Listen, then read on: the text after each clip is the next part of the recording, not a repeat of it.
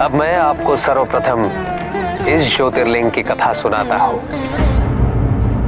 इसे संसार वैजनाथ धाम के नाम से जानता है। महादेव का सबसे महान भक्त रावण।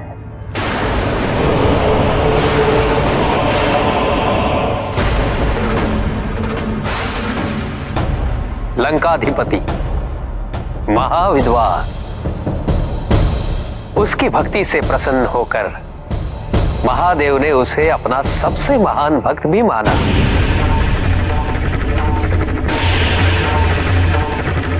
जब तक तुम्हारे मन में मेरे प्रति निस्वार्थ भक्ति भाव विद्यमान रहेगा तब तक तुम मेरे परम भक्त बने रहोगे। मैं तुम्हें वरदान देता हूँ नशा तब संसार में तुम मेरे सबसे महान भक्त के रूप में प्रसिद्ध होगे। रावण की इच्छा थी कि महादेव उसके साथ लंका चले और वही निवास करे, ताकि वो अपना जीवन उनकी सेवा में समर्पित कर सके। मेरी केवल एकमात्र आवश्यकता है आपकी सेवा करना, और वही मेरी एकमात्र इच्छा भी है प्रभु, जिसे आपको पूरा करना ही होगा। महादेव ने कहा, वो अवश्य जाएँगे। मैंने तुम्हें वरदान तो दिया है किंतु रावण, तुम्हारे लिए उस वरदान को सूक्ष्मता से समझना अनिवार्य है।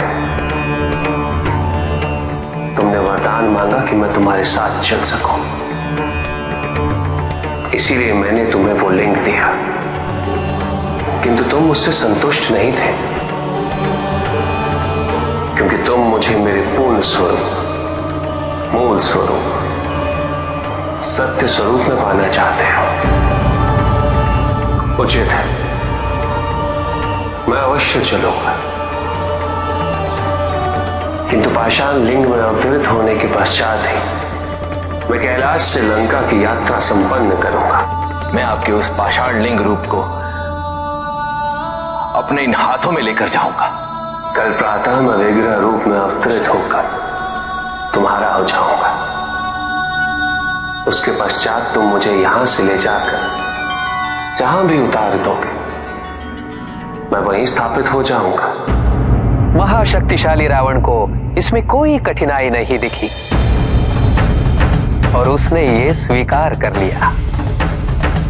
कैलाश में सभी चिंतित थे, क्योंकि सबको विश्वास था कि रावण जैसा निष्ठावान और हठी भक्त अपनी समस्त शक्तियों के बल पे महादेव को लंका ले जाने में अवश्य सफल होगा। ऐसे में गणेश ने अपनी माता को वचन दिया। आपकी चिंता दूर करना मेरा कर्तव्य है। और मैं आपको वचन देता हूँ। पिताजी को उस लंका में कभी स्थापित नहीं होने दूँगा।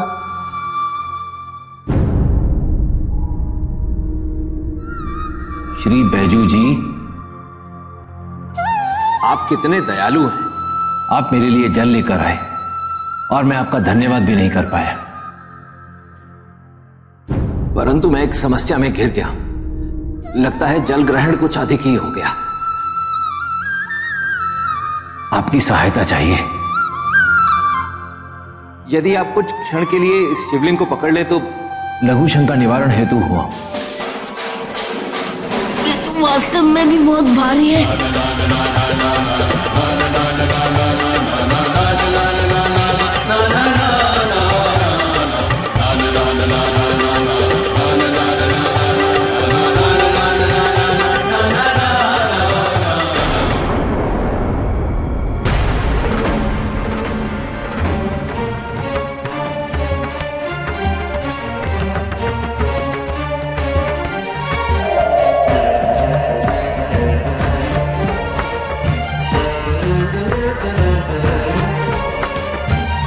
रावण। मैंने तुमसे कहा था रावण, तुम मुझे जहाँ भी रख दोगे, मैं वहीं स्थापित हो जाऊँगा।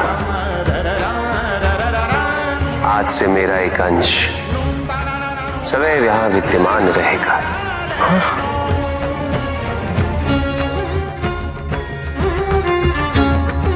बैजू का रूप धारण कर गणेश ने स्थल पर रावण को रोका है। आज से स्थल बैजनाथ के नाम से जाना जाएगा।